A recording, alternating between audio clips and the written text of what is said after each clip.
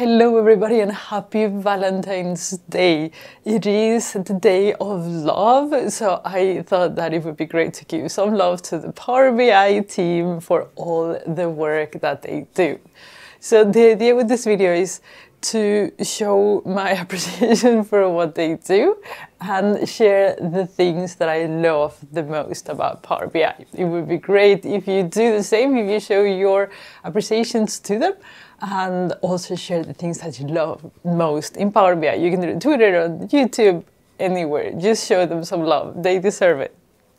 So, first of all, the number one feature, one of my favorite features of Power BI is the fact that it updates every month. It is a pain because you know sometimes things break, but hey, it is actually worth the damage control because it just makes so much fun working with Power BI. And I know that a lot of you also think that when it's a Power Week, it is like Christmas. So fantastic work. Think about it, reflect about the actual work behind you know releasing features that millions of users use every month. I mean the amount of work that it takes to, to do that and the skills i don't even want to think about it. It is absolutely fantastic. So thank you power bi team for making us feeling like child every month. It is fantastic. So with that aside if we look at power bi as a whole for me visualizations is one of the big things I love doing in Power BI and Power Query. I am a huge, huge, huge fan of Power Query. It just changed the way I work. It is not that I don't like DAX. DAX is, you know, like I love solving puzzles, so this is like my puzzle time, you know, when I'm doing it. But you know, when you're stressed and you have a lot of work, you don't want to necessarily do puzzles, and that's when DAX gets a little bit on your face. Other than that, it is a fun challenge to do DAX actually. So that is for Power BI Desktop. One of the things that I think is absolutely fantastic about Power BI is that you the work that you do gets properly shared with your colleagues, your customers, or whoever needs it. The fact that you can publish your reports to the web and share it, I think it is amazing. This is, you know, the capabilities of the cloud. Such a great and neat feature. You know, we're actually starting to unlock the power of data. And with all the artificial intelligence that Microsoft is going to put on into Power BI, you can only imagine the things that we will be doing probably this year, to be honest. So really excited about that. When it comes to you know Power BI features as a whole, I think that Power BI Embed is actually very very good because it allows you to take Power BI out of your organization and share it with others.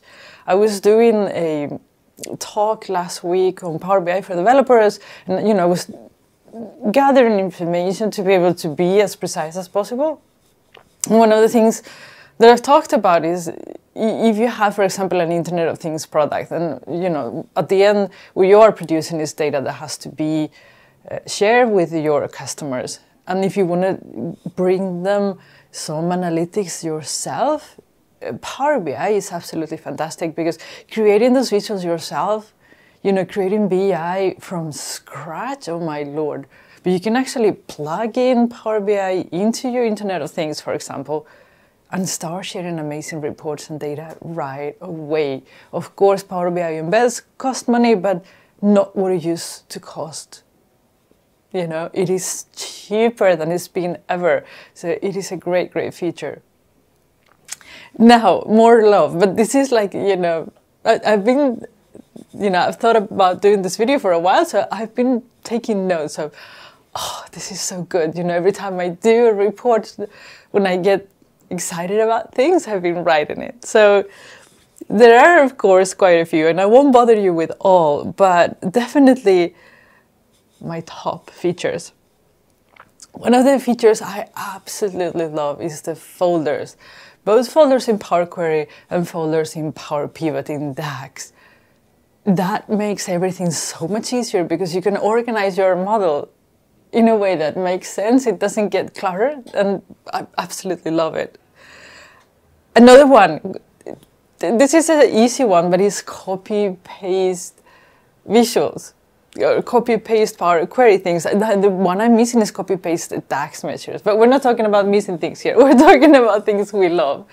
So you have no idea how productive I've become by copy pasting. It's absolutely fantastic. I love it, love it.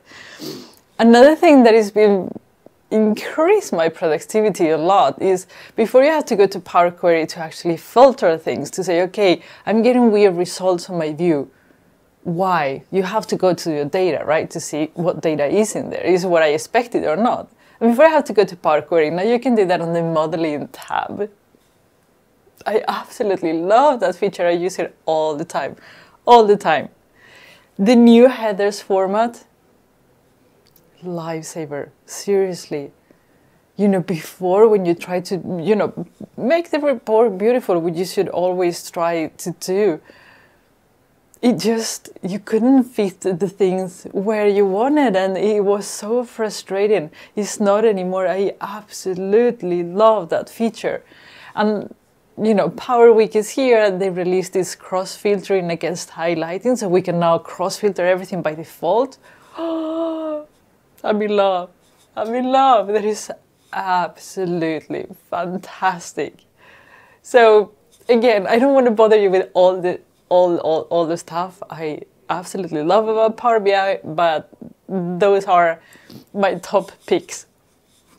So, with that said, Power BI team, thank you very much. You're doing a fantastic job. For you guys that are looking and listening, make sure you give some love and attention to your loved ones. Today is the love day, okay? And uh, I'll see you again on Friday. Make sure you let the Power BI team know what your favorite features are. You can comment directly to them, comment here, just show some love, okay? It is love day after all. So I'll see you tomorrow. Bye.